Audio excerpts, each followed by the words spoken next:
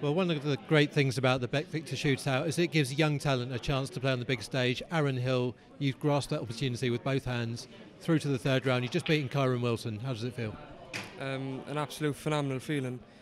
Not, not just, just to be still in the tournament, but to beat someone like Kyren Wilson, world number eight. Just unbelievable feeling. I'm just delighted to be still in the tournament. Can't wait for the next round. Yeah, I'm guessing you've been watching a lot of snooker on TV in the last few years and seeing the likes of Kyren winning tournaments. To, to go out there and beat him in a ranking event, it's, it's a great achievement.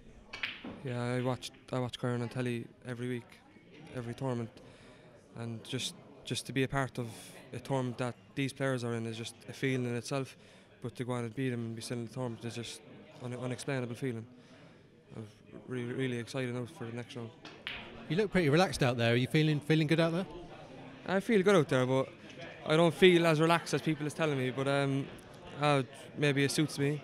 I love being out there. It's just any snooker player's dream to be playing in front of a packed crowd and live on TV against Kyren Wilson. So I just live live it up as much as I could.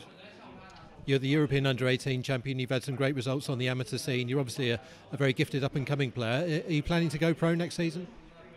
Oh yeah, uh, hundred percent. As soon as soon as possible.